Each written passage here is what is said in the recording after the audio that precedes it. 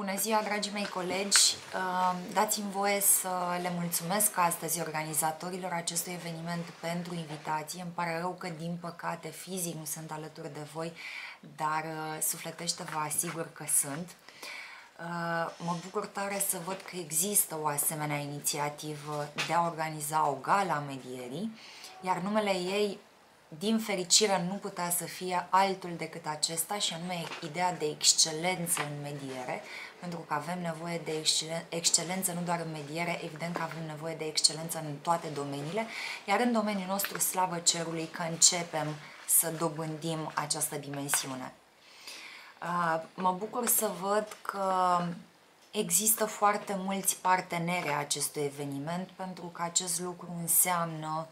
că tot mai multe asociații ale mediatorilor, tot mai multe asociații de profil își dau mâna, uh, înseamnă un semn bun pentru viitorul României și pentru viitorul medierii în România și arată dorința de implicare și speranța că totul va merge din ce în ce mai bine în viitorul apropiat.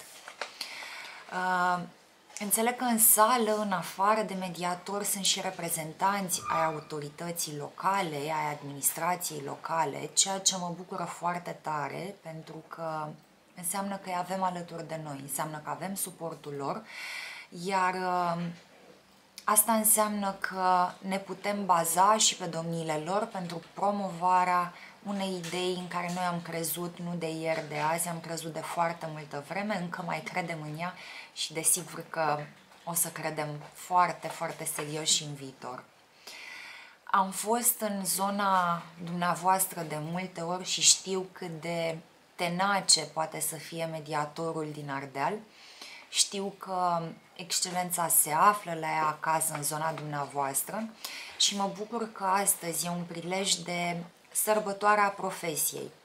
Vă salut cu tot dragul și vă asigur că vă voi fi alături de câte ori veți avea nevoie. Mult succes și uh, sper că cei care vor primi astăzi premiile pentru excelență uh, vor purta